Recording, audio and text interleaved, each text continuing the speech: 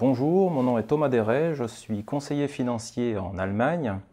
J'avais commencé par des études d'ingénieur en France, ensuite euh, suis passé par le consulting euh, pour les sociétés de services financiers pour les banques et assurances, ce qui m'avait permis d'être euh, formé dans le domaine financier de la zone germanophone, l'Allemagne, l'Autriche et la Suisse.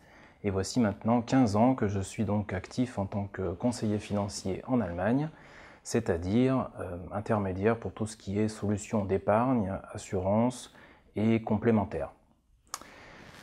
Je m'occupe également du service estimation de salaire, expertise salaire avec Eurojob Consulting.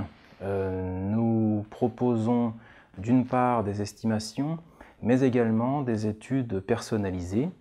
Euh, études personnalisées basées d'une part sur des données empiriques donc euh, ça c'est lié à l'activité euh, que j'ai au niveau du conseil financier, mais d'autre part sur une approche calcul, c'est-à-dire que nous tenons compte bien sûr de l'aspect fiscal et des différences entre notamment la France et l'Allemagne, mais également des particularités du système social et retraite de façon à vous proposer des estimations les plus précises possibles.